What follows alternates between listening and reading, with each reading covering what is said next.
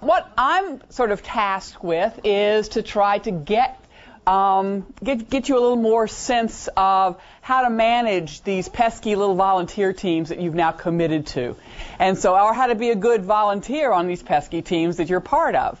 And so part of what we're going to do today is we're going to do a little activity. I'm, I'm in the organizational behavior group at Stanford, and, and it's completely impossible for me to give a lecture. Okay, so it's just one of I can't do that. So we're going to have some activity, and then we're going to talk about it. Um, and so what I'd like to do is I'm going to do a brief introduction to what we're going to be talking about today, then do a little short activity with these colored sheets of paper that have um, appeared on your in front of you, and then we're going to do a larger activity which is designed to, and many of you may have even done the activity before. In fact, I hope that many of you have done the activity before because we're going to do a little bit different twist on it. How many of you have done uh, a desert survival, lost at sea, lost at. All right, perfect. This is great. All right, so we have lots of experts in the room. And so what we're going to do is we're going to do it, but, but, but so just do it, and we're going to do it exactly as you've done it before, except one of the cool things about exercises is the debrief can take lots of different directions. We're going to take a, I expect that we will take a different direction from what you did when you did the um, you're lost at sea, lost in the desert, lost in the moon, whatever uh, exercise. Okay, because I think it's because and, and, and by the way, what we're going to be debriefing is real consistent with the research that I do. So I'm actually very um, interested and committed to this sort of topic. So come on in and give her a colored sheet of paper. so, but don't look. So, one of the things, you know, we put people together in teams for a variety of reasons. We put people together in teams for political reasons. We want to make sure all our bases are covered. I'm not going to really talk about the political reasons. Here, let me help you with that. I'm, it's over here. You may want to go that way. I'm not going to talk about the political reasons.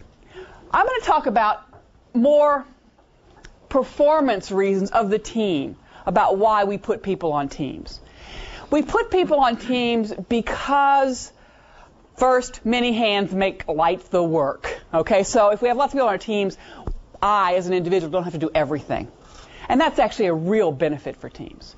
We also put people on teams because many eyes looking at the same problem may see something very different.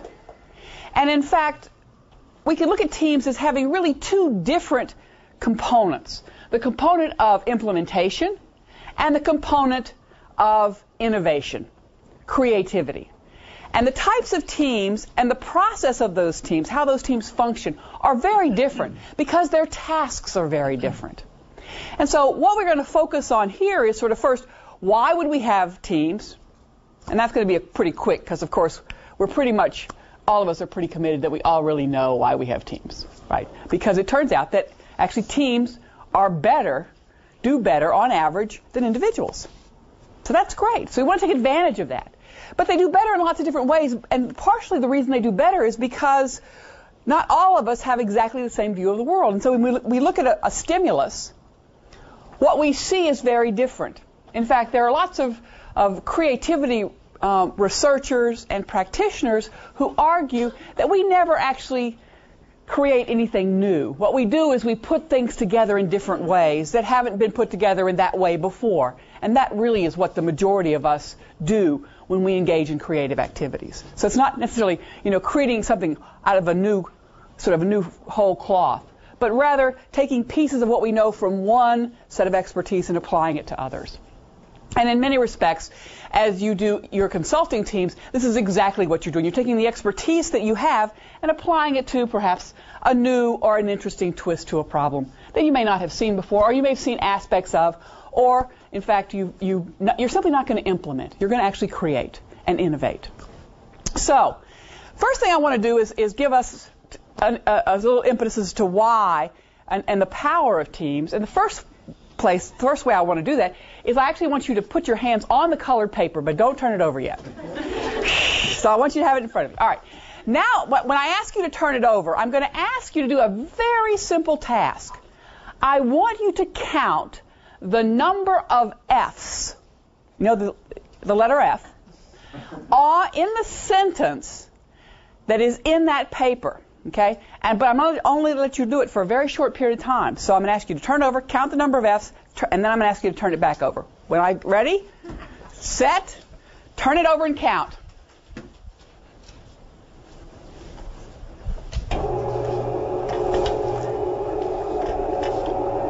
Stop, turn it back over. Okay.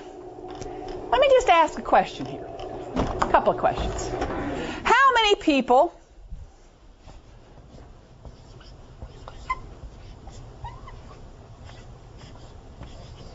How many people saw one F? Raise your hand. Okay? Zero. How many people saw two Fs? Raise your hand. Be, don't be proud. Don't be afraid. One, two, three, four. This group over here saw two Fs. Four. That was four, not two, Maggie. Try that again. what happens when you get old is you can't multitask. It's really hard. How many people saw three Fs? 1, 2, 3, 4, 5, 6, 7, 8, 9, 10, 11, 12, 13, 14, 15, 16, 17. How many people saw four Fs? 1, 2, 3. How many people saw five Fs? 1, 2, 3, 4, 5, 6, 7, 8, 9, 10, 11. How many people saw six Fs? Anybody see more than six Fs? no? Okay, so we'll just we'll give it a all right. Now, I want you to look at it again and do the same thing. Count how many F's you see. Ready? Go.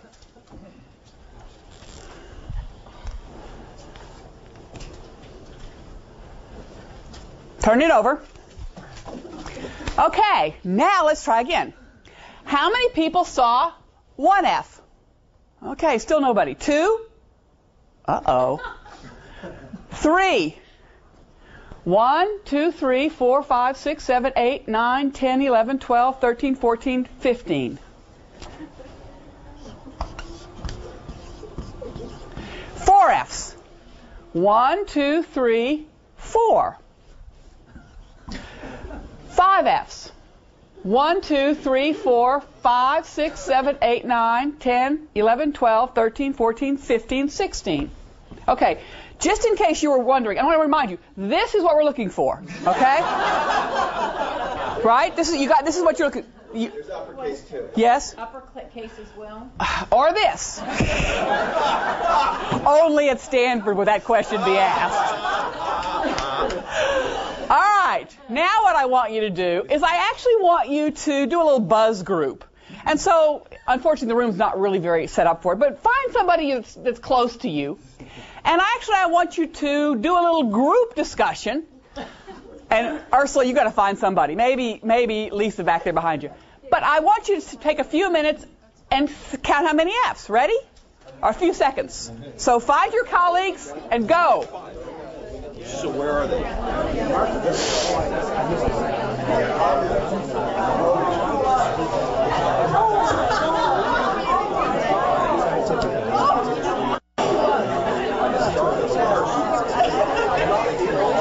All right, that's enough. Hello, stop, time. Thank you. Okay. Appreciate it. I see there's been some in the room. All right, let's just check. Hey, you guys, let's try now. How many see three F's? How many see four F's? Five F's. Six F's. Six F's. Okay. Now the question I have is, what? Why did? I mean, look at these numbers, right? I mean, there are you know 24 people and 19. It didn't drop down that quickly, right? Who were looking. By the way, the colored paper differences. They mean nothing. It was just a, because if you've all had organizational behavior, you know that you have to, you can't trust me, right? So, you know, I, I did that to sort of say, well, to justify the answers, because you see, you had different colors of paper, you thought, well, maybe there's something different about the papers, and that's why we see the difference. But no, it's not that. It's you, right? it's your fault this time. So let's think about this. Why is it that we got so much variation in what is, by the way, an objective task? There's nothing, there's nothing subjective about this, right? How many F's are in this sentence? So what, why is it that people only ended up with two? When you got two, what were you looking at? First. The first letters, right? Finished files. What else? Why? And then you got another one, right? The next most common was to get scientific. And very few of you, actually relatively, were, what did you miss? You missed one of. You got one, but you missed one. That's real interesting. Okay? Why do you think she had the right dynamic? She just didn't push it all the way through. Why do you think you missed the ofs? I think when we read words like that, it's almost like we process them unconsciously. Mhm. We just don't register that word. Your eyes just fly. So your eyes fly over it is one possibility. It's a tiny little word, yeah, John? It has a V sound. It has a V sound. So when you say it to yourself, finished files are the result of years of scientific. Oh, there's another one. Effort or uh, work. I used to say effort, but now it's work. Okay, work. Right. So what happens is when you say it out loud, it doesn't code as a. F- it codes as a V. Right. So there's a difference. But of course, what happens is immediately once people got together and looked at it, it was clear. You know, I saw a lot of people going, "Oh no, that was what it was." Right. And so part of you know, so this is a very what we call a very conservative test because this is not subjective.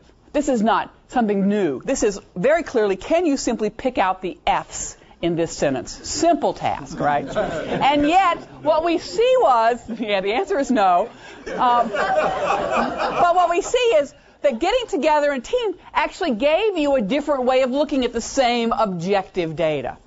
And so that's part of what teams do. They allow us to really sort of get re- I mean we have a we have a focus. And that focus, that expectation, that theory that we hold drives our interpretation of data. And so what happens is we find ourselves sort of being blinded by our theories. In this case, you know, looking for the sound of f rather than v, right? You know, ah, with the f sound, whatever it is. And so what happens is we find ourselves being blinded by that. And so bringing other team members who have other competing theories, right, is important. So, but it's really twofold. You, in order to be an effective team, you've got to first have the difference of perspective. But then you've got to be able to get it raised to the level of awareness of the team. Right? And it turns out that both of those are very hard tasks to do. First, to make sure you've got the necessary variety on your team, and secondly, to be able to actually use that variety, right? To have it come out into the into the team space, the, the intellectual space of the team. So, what we're going to do is talk about those two issues in the context of desert survival. So, actually, why don't you just take, these are all exactly alike. Okay? Not completely exactly alike. I know. Now they're all the same color. Now you question. okay, we don't really know.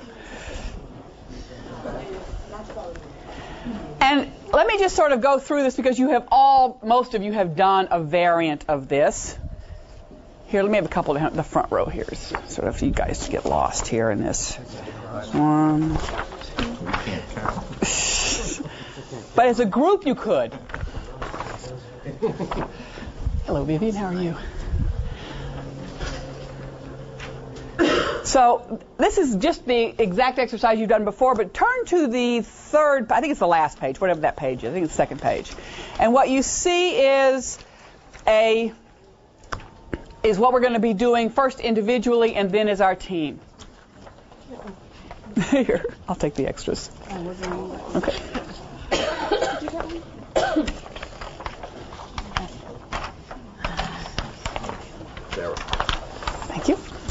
Okay, so as you can read on the front page, basically what's happened is it's 10 a.m. It's the desert. It's the Sonoran Desert. The Sonoran Desert is the high desert in Arizona, just to give an example. Um, and your plane has crashed.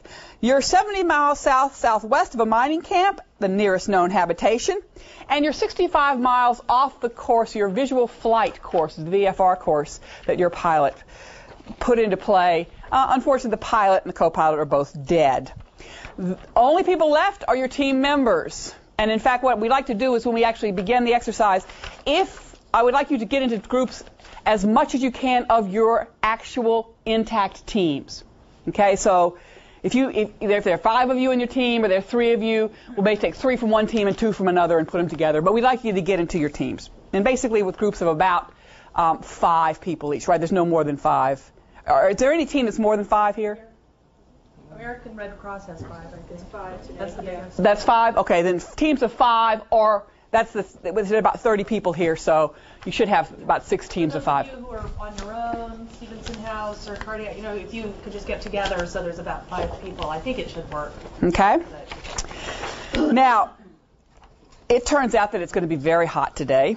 110, which means about 125 on the desert floor. It's you know 135 on the desert floor. It's pretty hot. Um, you basically didn't plan on crashing, so what what you have in your pockets is $2.83 in change, $85 in bills, a pack of cigarettes, one of you's a smoker, and a ballpoint pen.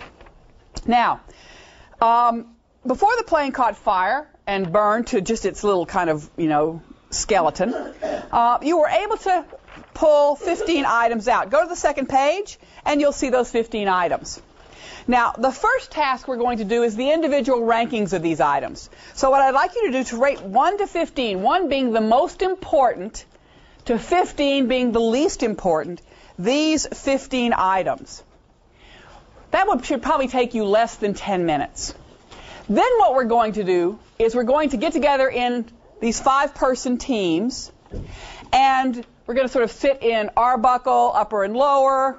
We're going to do, one team will stay in here because you're going to be videotaped. You know, so I think the Red Cross team should stay. The Red Cross, since you are the intact team, you guys get to stay. Hey, we'll have a video of your behavior. We, if we, if you lie to us, we can go back and look, right? Then, huh? On the website. Oh, good. Okay, then what we do is, as a team, come to a, an agreement of how these 15 items should be rated. That should take another 20 minutes. So pretty much what we're looking at is by about 10:30 or 10:40 to reconvene. Let, let me be more precise. By 10:40, reconvene back in here with your lists. At which point we will then talk about what you did and how you might do it better in terms of these two conditions, right? Bringing in difference of perspectives and getting those perspectives heard. Okay? Any questions? All right. So take a few minutes. Go 1 through 15 and rank the items, 1 being most important to 15 being least important. All right, now take out your sheets of paper because I have the expert. Now let me give you this the the credentials of our expert. He's a survival expert who contributed on the basis of uh, to the item rankings. He's the chief of the desert branch of the Arctic Desert and Tropic Information Center for the Air Force University at Maxwell Air Force Base. He wrote two books of, among many, one called Survival and the other Peoples of the Desert. And he's actually really old because during World War II, he spent much of his time working with Allied forces on the Sahara on desert survival problems. He's dead now, okay? Pretty much. But here's what he said, 'cause since we didn't add any technology to your experiences. Number one, cosmetic mirror. Oh. Of all the items, the mirror is absolutely critical. It is the most powerful tool you have for communicating your presence. In sunlight, a simple mirror can generate 5 to 7 million candle power of light. Okay, the reflected sunbeam can be seen beyond the horizon. If you have no other items, you would still be better off than an 80% ch- with an 80% chance of being spotted and picked up within the first 24 hours. So, oh, you're, gonna, you're not going to like the second one either. Assuming they're searching. Yes. If nobody cares, you're dead. Okay, that's it. Number two, top coat. Once you have a communication system to tell people where you are, you need to slow down your dehydration. And so 40% of the body moisture is lost through dehydration, is lost through respiration and perspiration. So you want to keep that environment around you as moist as possible to, to stop, to slow down the, the evaporation. Number three, the water. Okay. You could probably survive three days without, with just the first two items. Just to give you a. Number four, the flashlight. The only quick, reliable night signaling device that you have. With the mirror and the flashlight, you have 24 hour signaling capability. The parachute is number five, red and white. That's a shelter and a signaling device. Number six, the jackknife. It's helpful for rigging the shelter and cutting into the tough barrel cactus for moisture. Yes. Yes. Number seven, the plastic raincoat. It turns out that this is you can make a solar still with this. Yes. You can use it to get water in the desert in the evening. There is moisture, and you can get it to, to basically condense. It could also be useful. Um, it turns out that the physical activity required to extract the water is likely to use up about twice as much body water as gained. But you know, it'll give you something to do while you're waiting. right? Number eight, the pistol. You think it's no, it's not for food gathering or killing each other for food gathering. By the end of the second day, speech will be seriously impaired and you might be unable to walk. The pistol will be useful as a sound signaling device and the bullets as a quick fire starter. Number nine. After two days, a Stanford Business School student's speech is impaired. You know, it gives us all hope, doesn't it? this guy never came here. Number nine, a pair of sunglasses. The intense sunlight of the desert, photophthalmia. Number 10, the compressed gauze kit with gauze. It's not really so useful as uh, to you know wrap up wounds because the desert's actually a very uh, clean environment. But it could be used as rope for wrapping legs or ankles and face to protect against dehydration and sunlight. So it's more like a mummy wrap as opposed to a protection wrap. Number 11, the magnetic compass. Aside from the possibility of using its reflective surface as, as the signaling device, the compass is very is useless. Why? In fact, it's dangerous because it entices you to think you can walk out. Oh, yes.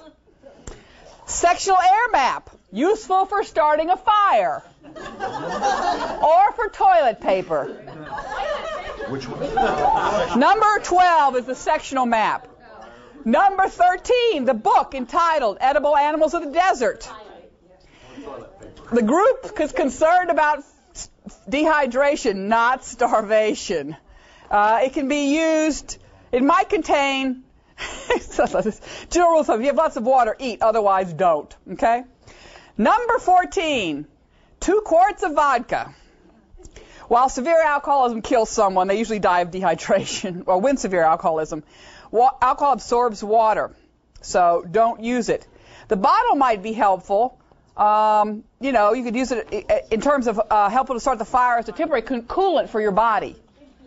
And last but not least, and I love because the American Red Cross team has two physicians in it, and they said absolutely number two. By the way, this is from, let me get this down. Oh, I am because I heard it. From the Maricopa County Sheriff's Department. If you walk in the desert, here's what you need to know. Number 15, salt tablets. Oh my. I know. I knew I had to get some legitimacy up here because both physicians said salt tablets number two. Number 15. I'm gonna lose my license. All right. So now what I want you to do as a team, I want you to get the make sure the team is is for reliability. Tell me what your team score is, which is you want to subtract your the number you said for an item by the number the expert said, and it's an absolute number. I don't care about minuses or pluses. You're not going to get that benefit. So just give me the absolute number in, into that third column. Between between you want to do yeah, so we want to do two of them. You want to take the you want to do number step 4. Difference between 1 and 3 which tells you how good you are. And then step 5, difference between 2 and 3, how good your team is. And I want your team I want you to make sure that the number is correct. Oh, you know what I hate? Here's what I hate. I was just telling urban e- ecology this outside. Sometimes you have these great uh, exercises, and then they just go awry. And so the point I'm going to make is really going to be hard to make with this group, with the possible exception of GMS. Great example where, where the worst is individuals and the best is teams. Exactly, but I'm making, but but I'm going to make another point. That wasn't the point. That's the general point. Yes. Here, let me tell you the general point, which you guys showed, you know, sort of in lights, and that is you are mu- well, with with possible exception of one team.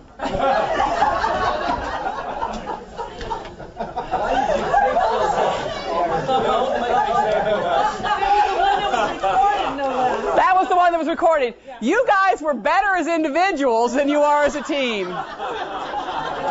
Everybody else, right? From 1 to 15, it's no one. Yeah. It's that salt tablet thing.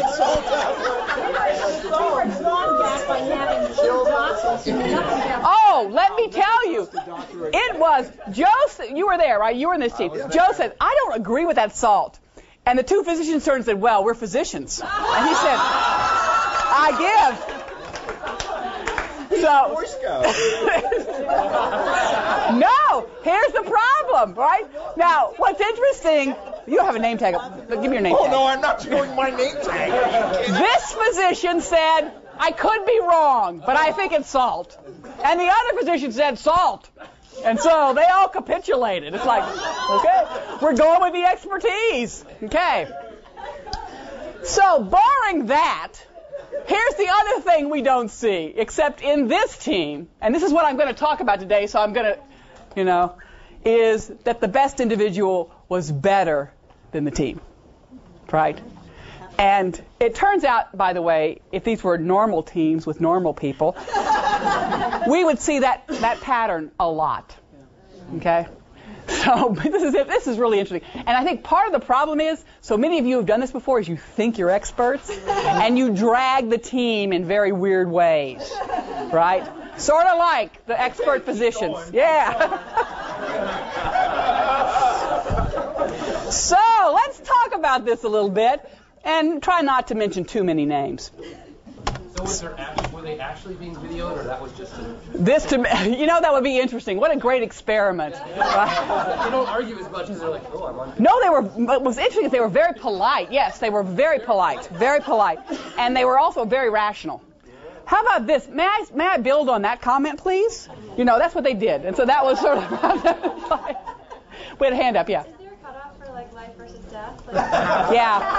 How many of you walked out? How many of you walked out? You're dead. You can't do it. I had this group. I, I heard them. This is not their fault. I heard them. They said we can do 20 miles a night. In what alternate universe can you walk through the desert 20 miles in a night? But they had salt tablets, so they were okay. Look at the shape he's in. I know. Well, let's put it this way: some individuals who are highly, highly, you know, sort of physically fit might be able to walk out. But let me tell you, the average reasonably fit person can't do that, and certainly not for two nights. Right? Think about this. You know, you guys. I know it's tough getting old, but we got to kind of acknowledge these things. You know, it's like, well, when I was 16, I could have done that. Yeah. Okay. All right. Well. T- uh, what we want to talk about, and I'm going to talk about it anyway, regardless of what, what you guys did or not, because this first part was fun anyway, is first synergy, which you did have, and that is that the individuals didn't do, on average, did not do as well as the teams, right? And in many respects, that really is the first component, right? That's the first component of any reason why we bring teams together, because we get this huge advantage of synergy right? That people coming together raise issues that would not have otherwise, that you might not have thought about as an individual. And so whenever there's a situation where you don't really know the answer, then teams can provide a huge resource to you. Now, secondly, so the benefit, the big benefit of teams is synergy. The big cost of teams is process loss. And we didn't actually see much process loss here. Um, but the process loss would be replicated here as where the individual, where at least one individual, or typically, typically one and sometimes more, do better than the team does. And that's a real loss because what happens is you have, you have one member of the team who, by themselves, seems to have been hurt by the interaction. And what I want to focus on, because the, the topic, um, or at least the title, as you can sort of see, is getting your voice heard. And part of what makes us more effective as teams is that we take advantage of the potential that exists within the teams. And the question is, how are we able to do that? How can we actually accomplish that? There actually, just a second. There it is. I think there was one here. All right. Go back now. Well, process loss is the inability of groups to take advantage of the of the intelligence, the intellectual property that exists within their teams. And process loss comes from a lot of different things. Now, I want to talk a little bit about these four compare these four conditions. Um, they obviously did not occur here, so let's just talk about them hypothetically, because in these groups they didn't happen, but they do happen. Uh, one is we did see actually expertise, right? Expertise. You know, sometimes expertise is real, and sometimes people expertise is there's expertise out there, but it doesn't really apply to the problem, right? And so, so you can get distracted. See, I'm looking up now. You can look distracted from that expertise. Let me let me. One of those interesting studies a college, uh, actually my student did. I have a doctoral student who's now on the faculty at Kellogg, and she did a, a very interesting study using this exercise. And what she did was she put ran the exercise and then looked at teams in their performance when a male was the most expert member and a female was the most expert member. Oh yeah. Now notice that as as you saw here, you didn't know who the most expert member was. The team didn't know right until after the fact, right? So now, what did she find? Did she find any difference in performance of those two groups? Yeah, of course. I wouldn't be mentioning it, would I, Ron? Otherwise, no, no difference. Okay, move on. I know. So what happened? when the expert, most expert member was male, the teams did better. Oh, I know. Beth, you were going thinking I was going the other way, didn't you? oh, Ron, you did too, huh? No, it turns out the males. That. Well, there's two. No, there's two hypotheses from that from that study. You cannot disentangle the two alternative explanations. One is the females who are more expert spoke and nobody listened, or they didn't speak. They self-censored. It's probably a combination, right? Because now, of course, she has to do the second study to find out which it was. But I can tell you from my experience in teams, it's probably a combination. First, people say this is not a task that I'm a particular expert in, so the things I think are kind of silly, maybe I won't even bring them up, right? Or I bring them up and people say, Excuse me, were you a Boy Scout? Did you ever do this stuff, right? No. So part of it is that you get a sense, right, of contribution is really a function of people's expectations about people's quality of contribution, independent of necessarily the objective quality of that contribution. And so part of this is, as a team leader, what I've got to be very sensitive to is I may see these kind of patterns developing where certain people are put into boxes, and those boxes don't allow them either to contribute or allow their contributions to be actually way overweighted. Right? So I, this is, I mean, it's a very hard task because you re- never really know how well you're doing until the end, right, in this kind of process. Also, what happens is people, this is, and this, this sort of gender and expertise and expectations, assumptions all kind of go together. But coalitions may form, right? Did you find in these teams, or have you found in other teams you've been in, that there's, there's sort of a dominant coalition that, that forms, and their way gets it? when perhaps you know other people may resist. Like the two physicians? I wasn't going to say that. so coalitions, coalition formation is a, is a very uh, powerful force in teams, and it can be a force for good or ill, right? Typically, though, the problem is is that it's very hard for us to tell whether it's good or ill because if we're in the coalition, it's for good, and if we're not, it's for ill, right? But what coalitions do is they tend to reduce the influence of the minority, and that can be very dangerous. Okay, so as long if we have a, a dominant coalition, we have enough people to sort of bull through and get it done, and the minority becomes, you know, so many chattering voices out there that we don't pay attention to. Sounds like the U.S. Could be. Suppressing or avoiding conflict. You might, in fact, many teams find conflict a very scary experience. And so what happens is they tend to suppress differences rather than to engage the differences.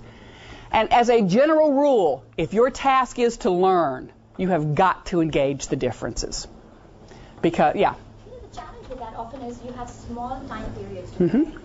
And if you go with the conflict, you may never get to any resolution. Yep. That's the challenge you have. It is absolutely challenging because one of the things that we're going to, you know, what happens is what you want to be able to do in any kind of team interaction is engage the dispute, right? That is, begin to create dissonance, but you have to resolve it. You have to come, you have to now come to consensus, right? So you have this, first you have this sort of throwing the issue open and bringing it back down.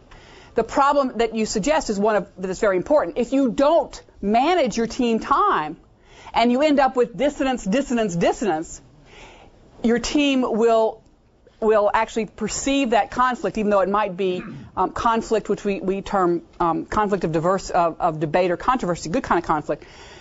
If you can't resolve that, the team will reinterpret that as emotional or interpersonal conflict, and the team will begin to, to, to dis, basically to dissociate, right? Just kind of it won't it won't function. And so part of it is as a team lead, you've got to be really clear about that agenda. You know, one of the good things, by the way, they did many good things. One of the good things, and you can see on the tape, is they had a person who specifically watched the clock in this team in here. And uh, many of you may have done that as well, right? To make sure you didn't get caught up in this kind of discussion and you didn't have time to come back and make sure you got to the end. And by the way, I want to just I want to congratulate all the teams for actually this was pretty punctual given how these teams usually are. You did really good in getting the teams in here. Okay. so let's break this down into three different problems. Excuse me. Composition, participation, and influence. Now, I'm going to actually leap across composition because your teams are already formed. But what I've given you is some ideas about when and why you might want to use hom- more homogeneous versus more heterogeneous teams. It is not the case that always you want is, you want maximum diversity, nor is it the case that you always want maximum homogeneity, right? Typically, the dis, the sort of th- the categorization is if implementation, homogeneity. If innovation, creativity, learning, heterogeneity in your teams. Why? Because we don't like to learn. We don't like to think. We only learn if there is motivation to do so. And that motivation typically comes in the form of here's what I think the world is like, and my observations don't match that. So I've got to have some discrepancy. The way I create discrepancy in a team is to have people with different perspectives and views of the world, and then we work it out.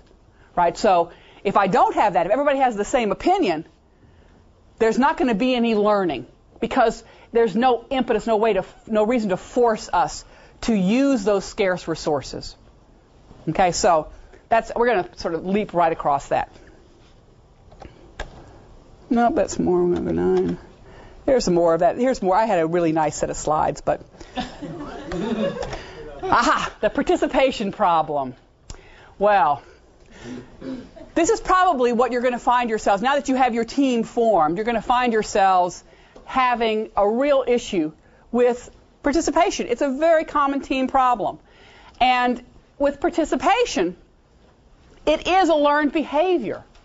Right? People, and so that's one of the reasons, sort of, and for those of you who had most of your team here, at this, and had this as your kind of quasi first team meeting, turns out that this is actually a good thing because there was probably a lot of participation. And so you, in, you basically created a norm by your first team meeting that there's this kind of good natured participation, right? Even if it was on something silly like desert survival. It's, whenever you are in a team, the first meeting is absolutely critical. It is, Uh, it will set the stage for how the rest of the team's life goes. And so at, at that first team meeting, and a lot, by the way, a lot of things that Cynthia said in her first session, I'm going to reiterate here because she gave you a nice little set of to-dos about how to think about managing your team. But one of the things that's really important is don't underestimate that first team meeting to set the norms about communication and participation. It's a learned behavior. Even people who don't like to talk in public may find that in a team where the expectation is they contribute, they will. Let me give you an example. I used to go to Thailand and teach for every year for a couple of months, or actually a couple of weeks. I lived in Chicago at the time, was at Kellogg. And let me tell you, February in Chicago, and they said, hey, want to go to Bangkok? I went, pick me. Let me get out of here, right? So I would go there, and, and the first time I went, you know, and one of the things I do, you notice I don't actually speak from notes and stuff. It's what, you know, my notes are back there. You guys see them the same way I do. But if, if I can't get interaction, uh, this doesn't take very long, right? so I go to Thailand, and I have, I have a whole class I'm teaching, and I have my, you know, three note cards or three sets of overheads, right, that I put out there. And the first day of class, of a three-hour class, I finish in about 45 minutes. I'm done. I've done everything I thought I, I had planned to do. There was not one comment, one question. There was not one engagement from the audience of 65 MBA students, okay? So I'm thinking to myself, oh no, this is going to be really bad. So I ended the class with, well, it's, you know, it's the first day, it's a short class, right? And I'm just, I'm, because I'm in Thailand, it's not like I can bring more stuff, right? It's I'm already there, right? And so I'm thinking, oh, well, this is going to be, we're going to be finishing about, you know, one and a half classes will be done, right? what do we do? And so as I closed my books to get ready to leave, the line formed, right? And they started asking questions, completely reasonable questions. And I said, I said to the student, unfortunately, the poor guy was the first one, said, why didn't you ask this in class? And they said, Professor, we couldn't. And I went, why not? You know, I'm used to be, you know, think about Stanford. We can't ask questions. Yeah, right, all right. And they said, well, because, Professor, if we asked you a question in class, you would lose face because you actually hadn't ans- basically done a good job of explaining the material to us. Therefore, if we ask questions, we're calling you to, to question your your capability, your professionalism, your expertise. And I said, that's real interesting because you see, in my culture, when you don't ask a question, it says I haven't engaged you. And so I lose face if you don't ask questions. And they look at me and say, oh, this is hard, you know. so, however, being, you know, you know, what is it? Necessity is the mother of invention. I came into class the next class period with a bunch of red three by five cards. And I handed one out to each student in the class. And I said, in order to pass the class, you must turn in your need to speak card. That's what this is, a need to speak. Okay? If you do, and by the way, write your name on the card because I'm going to get and collect. And if by the end of the class you have not turned in this card, you have failed the class. Now, what is a need to speak card? A need to speak card is you can ask questions, you'll get it turned in, or you can say if you hold up your red card and there are other people talking, you get first call. I'll call you first. But at the end of the class, you need to turn in, the, you have got to have that card turned in. Well, it turns out that what I was doing was changing the nature, the structure of the class to force them at least to ask one question each, right? Knowing that if I opened the gates, right, if I got them to talk, they would talk more because then it was acceptable. And so part of this is understanding that you have to think about how do I structure the team meeting my team interaction such that people not only have permission, but feel the responsibility to talk, to contribute. Group size, sometimes we have large groups, and it turns out that group size is also problematic. If I have a group of 12, let me tell you, you can hide in there. You don't have to talk because there's enough people there, the airtime will be taken, and so you can spectate. If that's the case, if you find yourself in those kinds of situations, or even in a group of six sometimes people tend to hide, you might want to try what we call buzz groups. Because while you can hide with a group of six, you can't hide in a group of two. Right? So I say, okay, I want you two to talk about we're going to we're going to break down into sort of subgroups because this is an issue we have some disputes over. Let's talk about subgroups and I want you to talk about this issue for 5 minutes. We're going to co- come together as back to the larger group and figure out what the solution is going to be. Right? I'm forcing you now to communicate because if there's two of you, you can't not talk to the person sitting next to you that you've just in the buzz group, right? What we, use, what we were told to do in, as teachers is to recognize here, then go over here, then go over here, then go over here, right? Completely blocking the natural tendency. Or, if in this case, so they did that with room space, they also do it with gender or race. So if a woman speaks, now go to a man. If a man speaks, try to go to a woman. Well, what happens is you block because proximity and similarity tends to give people, increases the probability they'll talk right? So you need to sort of understand these naturally occurring social factors that allow people to speak. Well, there's also the influence problem, right? Influence is why teams meet. You want to be able to be influenced and to influence other members of your team. I learn best when I get your ideas before they're influenced by mine. This is a problem, though, right? How can everybody go first? Think about this. Have you ever done a brainstorming session? Tell me about, tell me the rules for brainstorming that you used. How did you, huh? No judgment. No judgment. That's it. That's usually. So any idea, no evaluation. Okay? Anything else anybody did? Everybody gets to write one down first. Huh? Everybody gets to write one. Down. That's, you see, this is the way to start a brainstorming session. If, as most people start brainstorming sessions, you just say, okay, let's all get together and throw up ideas and no evaluation. Okay? This is a bad way because as soon as the first idea is thrown up, it influences everybody else. And the point is, we, and the reason it's so powerful is because we don't think it does. We think we can sort of, you know, be separate from. But in fact, we are dramatically influenced by that. And so as a result, what happens is that setting, being a first mover, right, gets you to have much more influence in the group by your first idea statement or your willingness to sort of state a position early on than any of the subsequent contributions by other group members. In fact, I had a colleague of mine, a social psychologist, who knew this work and actually practiced it in faculty meetings. So when there was someplace he wanted to go, he was, I mean, he didn't wait for, it was like, let me tell you what I think the right answer is, right? And dragged all of us there, right? Even though we may have disagreed, we now modulated our disagreement in his direction. And he knew it. He was great. hey, if you know this stuff, use it, right? Well, there are two effects I want to talk about and of influence. I want to talk about, yeah. I just have a question. Sure. So if, if you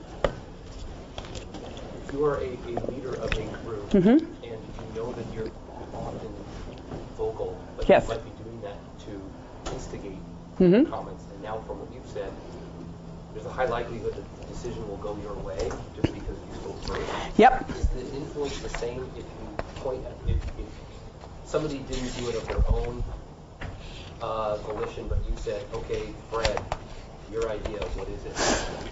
Does, does the It- tend to go that way as well if they didn't? It does, yes, because what happens is we don't remember why people spoke. It's not that it's not that people spoke first because they're they are compassionate or I'm sorry, passionate about the idea. They spoke first. It's the speaking first. part that matters? Right. And so part of what, I mean, and, and actually I was looking, I have a, a slide, that's sort of what I was looking for, which basically gives you a whole list, not a whole list, a small group of, I have it in here someplace. There it is. Slide 29. We're just going to leap around here. Right? You want, you don't want to, you're the team lead. You think you may be giving your suggestions because you want to sort of provoke the group? Well, what happens when you do that is you influence the group. So you want to start with some, perhaps, with some writing, pre-writing. People sort of make a, they write about what they want to, their, their ideas are before they get influenced. In vertical groups, and this is a response to you, you want to actually have participation inverse relationship to the power of the group. So you want low, low power people, low status people in the group to speak first, the high status of the leader to speak last. Because, you know, you, you've all been in teams in your organizations where as soon as the, the, the, the leader speaks, the CEO speaks, we all say, sounds good to me. Let's go. Right? But what that does is it destroys. Why then? Why are we? At, you know, why are we having this team? Why didn't you send a memo out? This is what I want. You say, okay, fine. Right? We don't need the team there. And you want to model and encourage dialogue over advocacy, right? Which is let's talk about why as opposed to I want I want to win. Right? Those are the two distinctions. So, let's go back a little ways now. Oh, that was wrong. Let's try this again. 14. There. So there really are two things when you what influence does is it changes people in two different ways or can change people's perceptions in two different ways or people's uh, verbal or outward views of what what their agreements are, what their opinions are.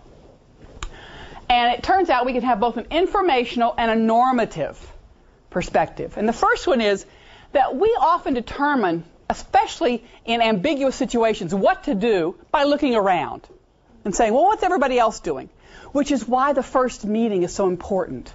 Because what we're doing here is, is teams are kind of an ambiguous situation. This is a, you know, a, a, an alumni consulting team. How, how do you behave in that team? Right? And so we look around to see what the norms are, what everybody else is doing. And secondly, it turns out when we don't have, we don't know what the correct response is, we are dramatically influenced by our environment. The whole psychology of mobs, right, is exactly this. We don't know what to do, we go with the mob. We look at, at what the rest of the, the large group of people are doing and we mirror that. Now, here's my, one of my examples of informational proof. Um, the, uh, the woman at the staircase says, I don't buy stocks simply because others are buying them. I buy them because many others are buying them. right? So I need lots of people to tell me this. But let me, so what happens is, in, we're in a situation where we don't know what the right answer is. We look around to try to find what that answer is. And what happens is that we get influenced, and people will look to others, but they look to it as information. Unfortunately, or fortunately, you decide which, what happens is we get anchored by it. It turns out that we look to it as we act as if we're going to have a little input into this. It'll be just like one component of the input. It has a huge impact. It has such a huge impact because we don't think it has an impact. Like a first offer in a negotiation. You'll probably some of you know my teaching. Wonder, was she going to get negotiation in here? Yes. Okay. A first offer in a negotiation. We all know it's extreme, right? And we think we discount for the extremity of the first offer, but objectively we don't discount enough. So what happens is we're still influenced in that direction. But even more so because we think, oh, we've already taken care of that. Right? We've, we've adjusted for that. Well, what informational influence does is it changes our private view of the situation. So it's a private, we actually change how we think about things based upon what other people are doing. Let me give you an example. Informational conformity, bystander apathy. this is a classic social psych experiment. What they do is they put two, three people in a room. You can sort of see the three. This is like a room with a chair, three chairs and a table. And here is the subject, the person who is actually the only naive person in the room. The other two people have scripts about how to behave. But the subject doesn't know that the other two are in cahoots. So what happens is they're in a room and they're asked to fill out a relatively extensive survey. And as they're filling out this form, you know, filling out the questions, suddenly from the closet, a huge billow of black smoke comes out of the uh, closet, under the door. the subject looks up, and you can, they've got it videotaped, you can watch looks up, sees the smoke, looks around at the other two, They're calmly filling out the paper, and he goes back and calmly fills out his paper. Okay? You laugh, you have done it too. How many of you have fire drills in your buildings? And you say, well, it's just a drill. How do you know that? You know? My response is, if there's a fire drill, I'm walking out because I can't tell. And wouldn't I be irritated for eternity if it turned out to be real and I died? Okay? I mean, just. Whew. But what happens is, this person says, this is a weird situation. Okay, even better. Airplanes. You've been in an airplane, you've flown, and there's a big thunk. You look immediately to the flight attendants. Are they anxious? If they're not, uh, nothing. Okay. Are you great? yeah. We've all been there. And then I've already talked about anchoring. I haven't got enough time to talk about that, so you can read this yourselves. It was a very cute example. Here's some more. hey, I got six minutes left, okay? Let me just tell you that if you haven't heard me talk about the anchoring and adjustment study on real estate, it's a good one. All right. This was this was a really good leg. Okay, now the normative basis for conformity. You know, they told me I only had two hours, and this is really a three-hour talk. So what can I say? You know, and I did want you to not get it so you can read about it. The normative basis is actually as powerful as the infor- informative basis of conformity. The normative basis says, I want to be a good team player. I want to be part of the group. This is why there's such a notion of conformity, right? Because we believe that what a good team is is a team that is without conflict, that is that is basically got a lot of agreement. Also, others who may want to who have a particular goal in mind or who want to get out of the meeting, right, provide rewards and punishments to us. And we want to see, we want to get those rewards and avoid those punishments. So we oftentimes accommodate the majority.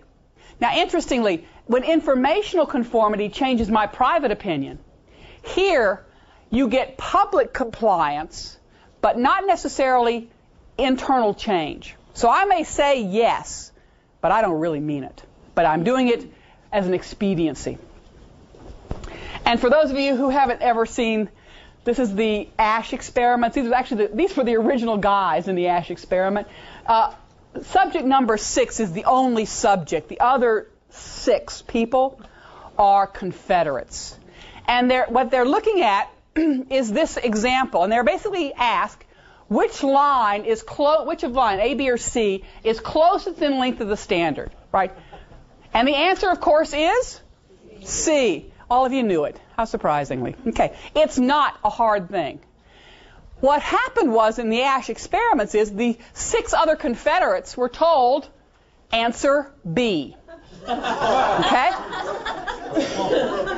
So this is what's happening. He's hearing B, B, and he's looking, he's going, wait, what's the, I mean, it's like, What's wrong? It's C, he's thinking to himself. It's got to be C. Right? And and and 35 to 40% of the subject sixes when asked li- which line is it says C, knowing that it's B.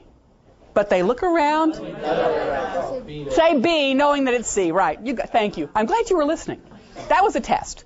Okay? So part of it is that they accommodated, right? They gave a public compliance, but clearly they knew that it was not B, it was C. And it, by the way, it turns, you can get even more compliance if there's some connection between the individual and the other six people. For example, uh, they did this with a group of high school students, and they put wrestling team members. And it went with their wrestling team the other five, six members of the, of the group were wrestling team members who said, B, you had a much higher percentage of the other wrestling team member, the subject, saying B. Right? Group connectedness, group compliance. You saw that one already? so, here's some to dos or some suggestions for you in getting your voice heard. First, here's the first one you need to express yourself. If you disagree with your team, if you believe that where the team is going is not the right place, you need to talk about it. You need to, t- to take the responsibility to put that information out there for the team, maybe even multiple times. Right? Because what's going to happen is the team is going to want to engulf you, to say, you know, we really, really can accommodate your concerns. Just come along with us, right? It's the amoeba response, right? Let me just engulf you so that you know you're, go- you're going to be one of us. Don't worry about it, right? You need to be able to present solid justifications for why you disagree. And you also need to differentiate your perspective. So I need to get you, the majority, to tell me why my, my concerns aren't critical, right? You have to convince me, as I need to convince you that they're very different, and my out, my perspective is very different. So I have to I have to sharpen the distinction between you and me, between the minority and the majority, because the minority and majority majority wants conformity. That's one of the real goals of a major, majority is to get everybody to agree. Now, it's really interesting. Uh, uh, Deborah Gruenfeld, you may know if you've actually been here for a short period of time, but if you haven't, is a, is a faculty member here at Stanford and she does a lot of work on power. And she, as her dissertation, did an, a really cool study. And what she did was she went, she got the, the uh, decisions of, of the Supreme Court and categorized them whether they were unanimous decisions or majority minority decisions. And then she evaluated what they call the integrative, what she called the integrative complexity of the decision. That is, how logically argued and complete were the decisions. And then she looked at whether those that were more logically argued and more complete were as a result of unanimous or as a result of a majority minority. And it turns out very clearly, if you look at these two different types of decisions by the Supreme Court, it doesn't matter how many years you go back, right? You just, I mean, so whether they're Republican or Democratic courts, doesn't really matter, right? But you go back, you find that the more integratively complex decisions came when there was a majority and a minority. Because the minority, while they may not have been accepted, had to be considered. And in doing so, the logic and the complexity of the arguments were much higher. Okay, so the decisions were better because there was a minority, even if the minority's opinion did not hold. And what happens? If you are a minority opinion holder, it depends how you how you convey that differs whether your group is typically homogeneous or typically heterogeneous. If your team is typically homogeneous, that is, for example, and you can you might be able to do this depending on how you characterize it. Here you are, you're in an ACT team, and you're all from Stanford. Okay? So if you want to you want to play that it, the team is primarily homogeneous, you say, you know what, we're all we're all from the same background. We're all together. I'm all I'm one of you guys, and I disagree. You basically call the commonality and then say what you disagree about. What you don't want to be in a homogeneous team is what we call a double minority. That is, you disagree and there's something weird about you. Okay? That's a bad place because your team will reject you for that. Right? Oh yeah, there he is. There he goes again. He always does that because he's, you know, he major, he, he major, because he's in marketing and they're weird. Okay? If you are, for example, the only marketing person in a group of finance majors, so maybe that's how your team has talked about itself, you want to highlight your difference because everybody knows you're not a finance person. Okay, you're a marketing person. Why do we have a marketing person? There must be a reason for that, right? There's a reason for your difference. So what you do then in those situations is you highlight your difference. You actually want to be a double minority. You highlight your difference. Here's why I was brought on board. I was brought on board because of my different perspective, and now let me tell you why I disagree. And it turns out that teams actually are more influenced, uh, if you compare how influenceable teams are, by a minority member a di- uh, who comes from a, who is a well, in this case a double minority in a homoge- in a heterogeneous group than a double minority in a homogeneous group. Although you expect that if we're all together and all alike, I'd be more influential. Turns out it's not true. Because because we're so alike, we really resist conflict and dealing with differences. We suppress them much more so than if there's some obvious heterogeneity in the group. Find an ally among the incumbents, right?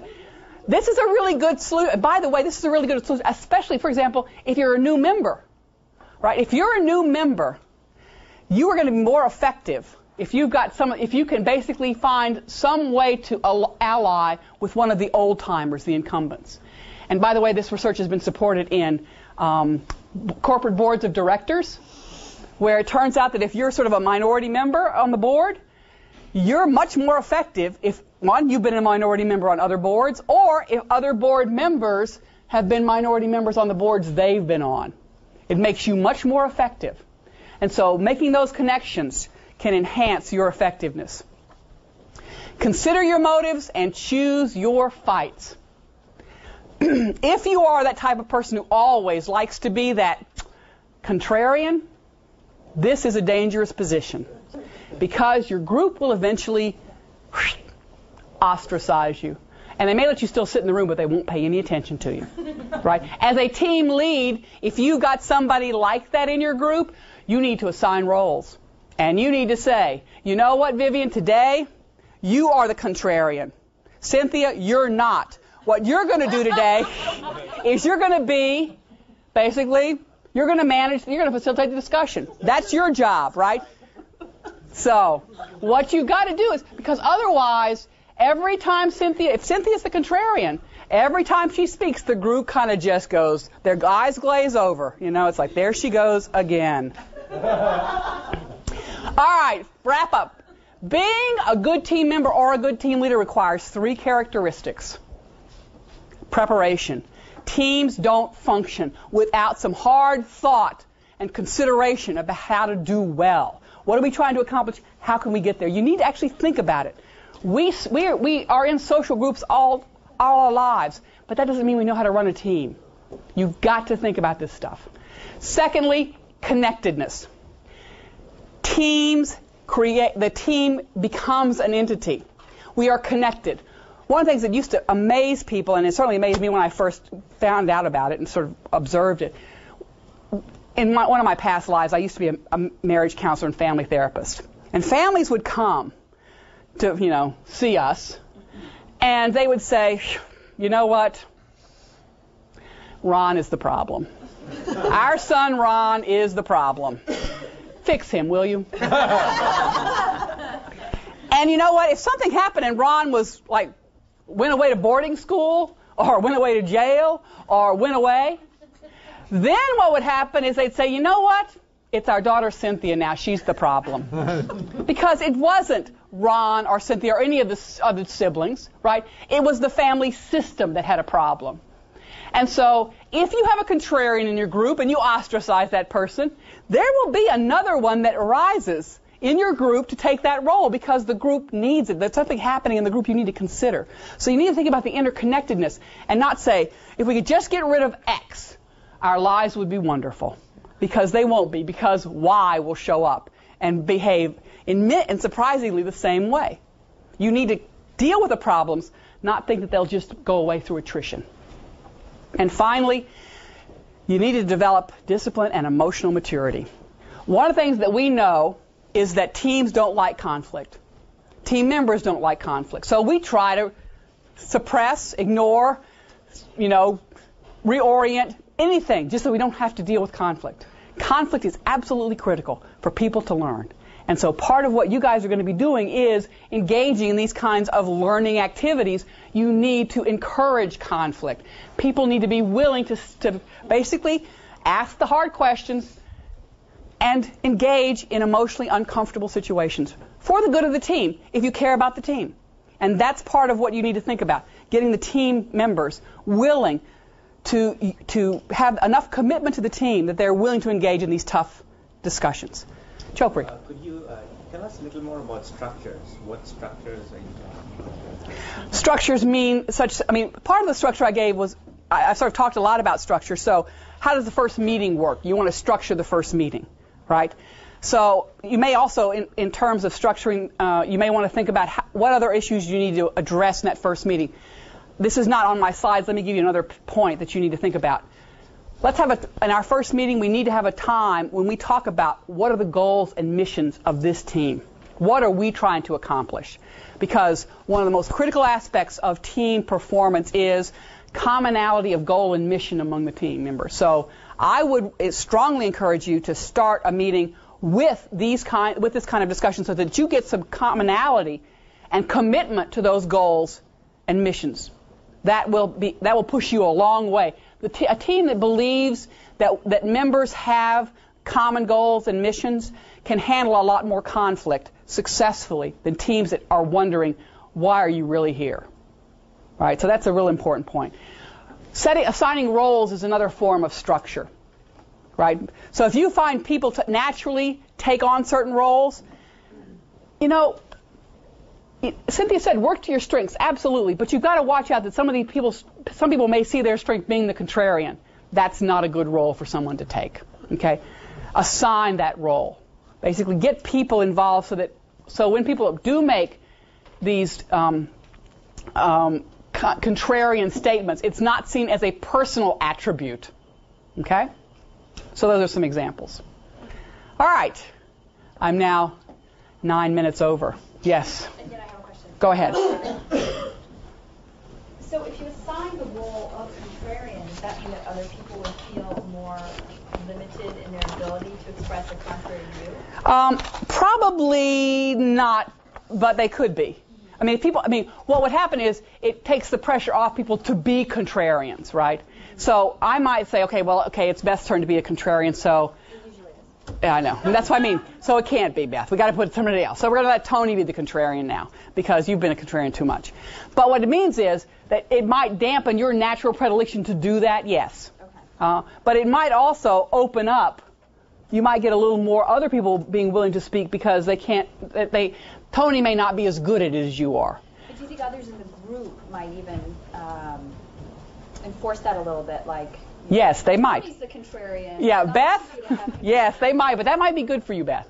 I know, but it may not be fun. It's so much more fun to say, uh-uh. All right, thank you very much.